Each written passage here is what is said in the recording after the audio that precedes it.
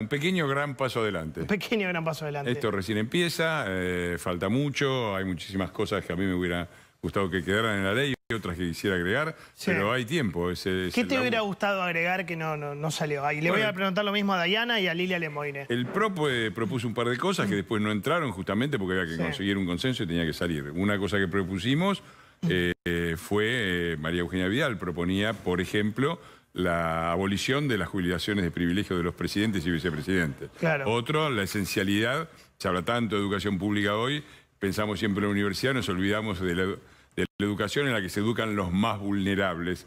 Eh, esencialidad de la educación para que en la primaria y en la secundaria no haya paros salvajes y habría muchísimas otras cosas. A mí me gustaría que no hubiera salido, así que, que se mantuviera la sanción penal a los bloqueos de empresas. claro, coincido la, totalmente. La abolición de la Sí. cuota sindical obligatoria. Pero bueno, vamos a trabajar con eso. Ahora salió esto, es un paso adelante. Vamos, vamos, vamos arriba, como dicen los uruguayos. Bueno, ¿qué se puede decir de estos muchachos? no? Yo me permito recordarles a todos estos que hablan de que es una ley para los empresarios, ¿verdad?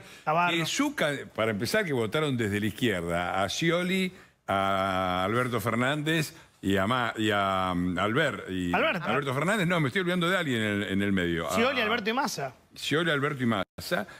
Y, no, y Massa, que era el gran campeón, que ahora sale ahí, no, la, la patria no se vende, que fue el candidato de ellos, que fue el candidato de la CGT, hoy es empleado de un fondo, de lo que ellos llaman un fondo buitre, que Greylock. es Greylock. Entonces, toda esta payasada yo creo que ha hartado a la gente y esta cosa trosca que tienen, porque eso es una cosa muy, muy impresionante, cómo el discurso trosco de los ricos contra los pobres Sí. y de la suma cero, ¿no? De, de que las cosas, el problema es cómo una torta que es cada vez más chica. Acá vivimos, este, eh, han empleado un sistema, en el mejor momento, en la mejor oportunidad de la Argentina, apli- aplicaron un sistema económico que achicó sistemáticamente la torta y que nos puso a todos a pelearnos unos con otros por una parte más grande de la porción. Entonces parece que eso fuera todo. La verdad, no les entra ni siquiera en la cabeza la posibilidad de que la torta sea grande, de que se crezca. además, en y esta ese ley es para eso. La, la ley es justamente para destrabar la economía y para que la, tros- la- la torta crezca.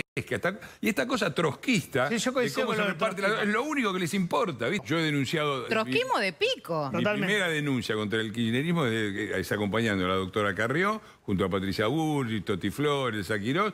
La denunciamos por asociación ilícita en el año 2008. Así que sobre la Sí, corrupción sí, obvio, kirchnerista ¿no? y de que el saqueo No, hicieron ellos, lo- no hay lo nada decís- No, hay un detalle que me pareció revelador de la sesión, que muestra el nivel de quilombo, perdón, En el perdón por decirlo Estamos entre amigos. en francés, Sí. eh, del peronismo. ¿Vos, te diste cuenta quién cerró el discurso oficial del bloque ¿Quién? por el peronismo? Moró.